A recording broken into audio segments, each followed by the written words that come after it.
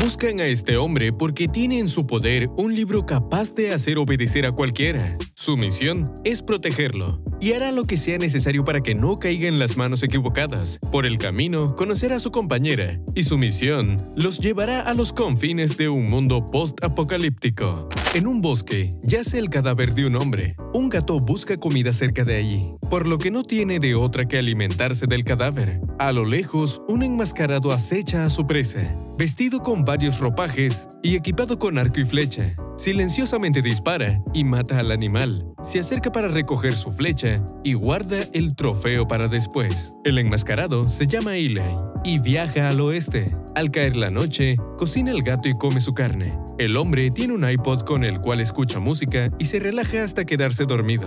Al despertarse, se da cuenta de que se está quedando sin batería y no tiene dónde Estamos en un futuro post-apocalíptico y mientras el hombre sigue viajando, se encuentra con una mujer que le pide ayuda. Sabe que es una trampa, así que les dice a los maleantes escondidos que salgan. Varios de ellos quieren las pertenencias de Eli. Les dice que no y les pide que lo dejen en paz, pero no escuchan. Cuando el líder de la banda trata de empujarlo, el viajero le corta la mano. Los demás se abalanzan sobre él, por lo que no tiene más remedio que acabar con todos ellos. Revisa sus pertenencias, toma lo más útil y sigue su camino. Tras varias horas, terminan por encontrarse con una pareja, la cual tiene el infortunio de toparse con unos motorizados, los cuales matan al hombre, asaltan a la mujer y les roban todo lo que tienen, incluido los libros. Eli tiene que resistirse a ayudarlos pues es lo mejor, así que sigue su camino. Termina por llegar a un pequeño pueblo donde busca cambiar varios objetos por una batería para su iPod. También le pregunta al dueño de la tienda dónde puede conseguir una cantimplora de agua, a lo que éste le dice que vaya al par.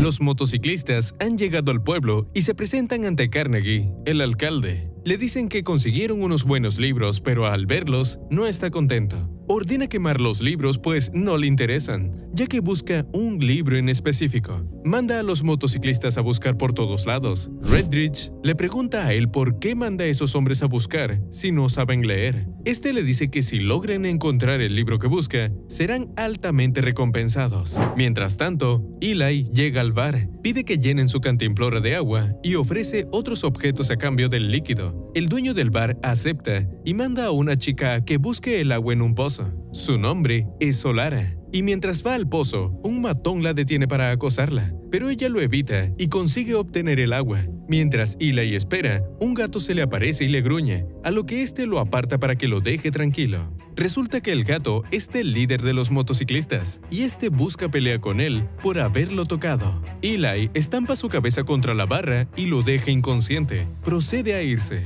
pero todas las personas en el bar se levantan para enfrentarlo. Sin remedio, golpea y mata a todos los que tratan de herirlo, pues justamente Solara llega con el agua y le pide que se detenga.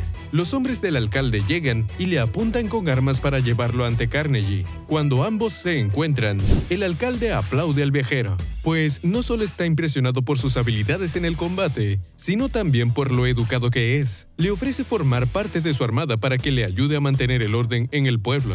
El hombre se niega a la oferta, pero el alcalde al menos le pide que pase la noche allí.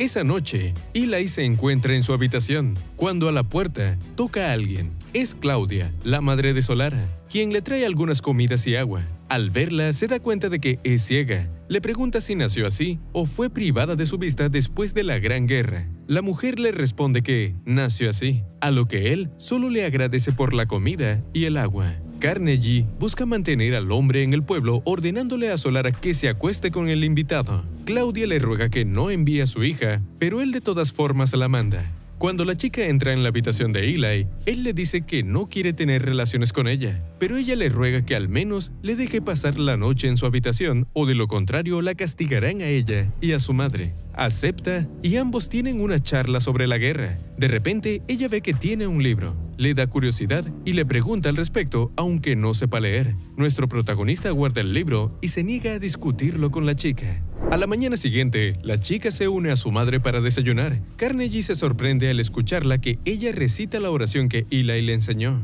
Aunque si le olvida la última el alcalde la termina. Exaltado, se levanta y golpea a Claudia frente de ella. Le exige que le cuente lo sucedido anoche, a lo que ella le confiesa que tenía un libro con una marca en forma de X. Inmediatamente, él llama a sus secuaces para que atrapen al viajero, pero cuando llegan, se dan cuenta de que ya escapó. Eli está terminando de recargar la batería de su iPod con el ingeniero. Al salir, se encuentra con Carnegie y sus hombres. Hay varios apuntándole desde los techos y el alcalde le pide que le entregue el libro que lleva consigo. Le dice que no tiene miedo de matarlo y arrebatarle el libro de sus muertas manos. Cree que los escritos de ese libro son el arma más poderosa para mantener al pueblo bajo su control. El viajero le dice que busca un lugar donde las personas necesiten de ese libro, pero que este lugar no lo es. Mientras se aleja, el alcalde le ordena a Redridge que le dispare. Este hace caso, pero a pesar de que una bala impacta, Eli no cae.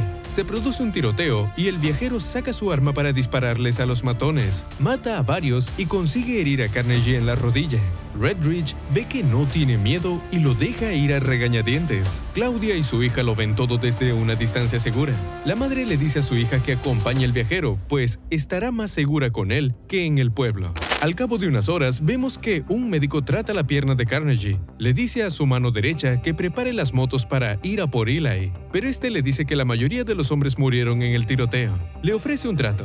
Él va a por el libro que quiere si le ofrece a Solara como su concubina. Al principio se ríe, pero Carnegie acepta con tal de conseguir el dichoso libro. Mientras tanto, la chica consigue alcanzar a Eli y le pide acompañarlo. Se niega, pero ella lo convence ya que le dice que puede llevarlo a un manantial subterráneo donde puede conseguir agua pura. En el manantial, el viajero llena su cantimplora y engaña a Solara dejándola encerrada. Ella grita y lo llama mentiroso. El hombre sabe que es mejor que no estén juntos y se va. La chica consigue salir de la cueva y trata de buscar a Eli, pero no lo encuentra. Termina topándose con una mujer que engaña a los viajeros pidiéndoles ayuda. La mujer, al ver que la chica la trata de ayudar amablemente, le pide que se aleje, pues no quiere ver a una niña tan buena ser maltratada y abusada por los matones, pero ya es muy tarde. Los hombres la agarran a la fuerza y la llevan a un ducto. Es entonces que Eli aparece para salvarla, y con un arco y flechas mata a los malhechores. La chica está aliviada y entre lágrimas le agradece su ayuda. Ambos comienzan a viajar juntos para cuidar el uno del otro. Carnegie, junto a sus hombres, llegan al lugar después de un tiempo y concluyen que no deben estar muy lejos. Redridge encuentra una pieza del traje de la chica y se lo dice a su jefe con preocupación. Uno de los hombres recomienda que busquen al día siguiente pues está anocheciendo y como van en auto pueden perderlos de vista. Por la noche, la pareja descansa junto a una antigua torre. Eli lee el libro y la chica le pide que se lo lea. Recita un poco y luego lo guarda. Ella quiere que le enseñe a leerlo, pero él no responde. Al cabo de unas horas, se queda dormido y ella aprovecha para echar un vistazo al libro en su bolsa. Ella lo ve, pero no puede leerlo. Eli se despierta y se da cuenta, por lo que le quita la bolsa y la hace volver al otro lado de la habitación. Luego coloca la escopeta a un lado para advertirle que no lo vuelva a hacer. A la mañana siguiente, ambos van hacia el oeste. Solara aprovecha para preguntarle sobre cómo eran las cosas antes de la Gran Guerra, y ambos tienen una larga conversación al respecto. Cuando descansan, ella le pregunta por qué lleva ese libro consigo a todos lados, a lo que éste le responde que es el único que queda, ya que después de la Gran Guerra, casi todos fueron quemados porque se creía que fueron los causantes de esta. Le explica que un día, simplemente lo encontró y escuchó una voz que le dijo a dónde tenía que ir y que siempre estaría protegido.